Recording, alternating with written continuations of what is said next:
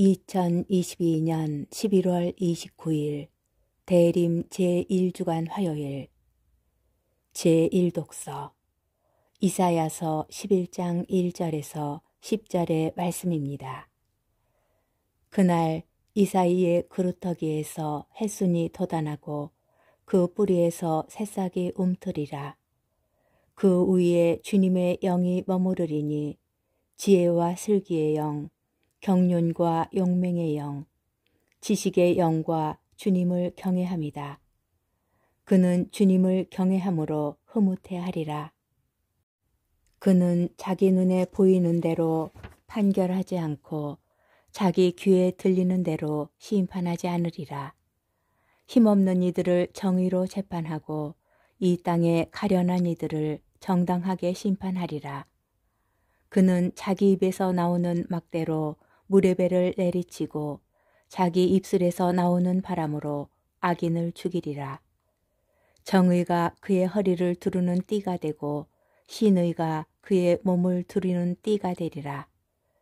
늑대가 새끼 양과 함께 살고 표범이 새끼 염소와 함께 지내리라. 송아지가 새끼 사자와 더불어 살쪄가고 어린아이가 그들을 몰고 다니리라. 암소와 곰이 나란히 풀을 뜯고 그 새끼들이 함께 지내리라. 사자가 소처럼 여물을 먹고 젖먹이가 독사 구루 위에서 장난하며 젖떨어진 아이가 살무사굴에 손을 디밀리라. 나의 거룩한 산 어디에서도 사람들은 악하게도 패덕하게도 행동하지 않으리니 바다를 덮는 물처럼 땅이 주님을 알므로 가득할 것이기 때문이다. 그날에 이러한 일이 일어나리라. 이사이의 뿌리가 민족들의 깃발로 세워져 결애들이 그에게 찾아들고 그의 거처는 영광스럽게 되리라. 주님의 말씀입니다. 복음 루카복음 10장 21절에서 24절의 말씀입니다. 그때 예수님께서 성령 안에서 즐거워하며 말씀하셨다. 아버지, 하늘과 땅의 주님, 지혜롭다는 자들과 슬기롭다는 자들에게는 이것을 감추시고 철부지들에게는 드러내 보이시니 아버지께 감사를 드립니다. 그렇습니다, 아버지. 아버지의 선하신 뜻이 이렇게 이루어졌습니다. 나의 아버지께서는 모든 것을 나에게 넘겨주셨다. 그래서 아버지 외에는 아들이 누구인지 아무도 알지 못한다. 또 아들 외에는 그리고 그가 아버지를 드러내 보여주려는 사람 외에는 아버지께서 누구이신지 아무도 알지 못한다. 그리고 예수님께서는 돌아서서 제자들에게 따로 이르셨다. 너희가 보는 것을 보는 눈은 행복하다. 내가 너희에게 말한다.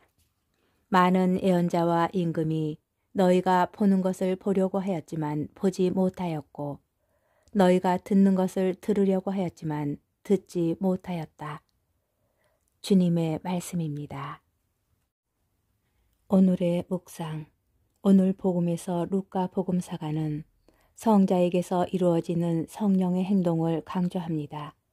특별히 성자의 기쁨과 성부께 올리는 성자의 기도 안에 성령께서 개입하심을 드러내는데 이는 성부와 성자와 성령의 친밀한 관계를 전제합니다.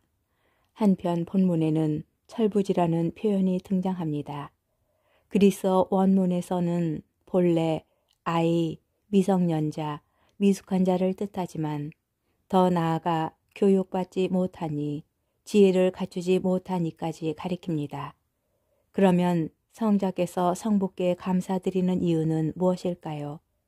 철부지 같은 이른 두 제자가 전한 복음을 철부지 같은 이들이 받아들였다는 사실은 성부께서 베푸신 은총의 결과입니다. 성자께서 성부께 감사 기도를 드리는 이유가 여기에 있습니다. 예수님의 감사 기도 안에는 세속적 기준으로 턱없이 모자란 이들에게 하느님께서 선의와 은총을 베푸셨다는 사실이 강조됩니다. 성자 안에서 이루어지는 성부의 계시와 은총이 바로 철부지 같은 이들에게 전해진 복음 메시지의 핵심이라는 의미입니다. 그런데 마테오복음 13장 16절의 행복 선언은 그 내용이 예수님의 제자들에게만 한정됩니다. 반면 루카복음 10장 23절은 행복 선언의 대성을, 대상을 확대 적용합니다. 곧 구약 성경의 약속들이 예수님 안에서 완전히 이루어짐으로써 더 이상 제자들에게만이 아니라 모든 믿는 이에게 하느님의 은총이 베풀어진다는 것입니다. 이를 통하여 루카복음의 중요한 주제인 보편적 구원이 실현됩니다. 어떤 의미에서 우리는 하느님의 은총을 받을 자격이 없는 철부지들입니다. 그러나 예수님의 십자가 죽음으로 말미암아 자격 미달인 우리도 은총의 수혜자가 되었습니다. 우리는 이 사실에 얼마나 공감하고 감사하며 살아가고 있습니까?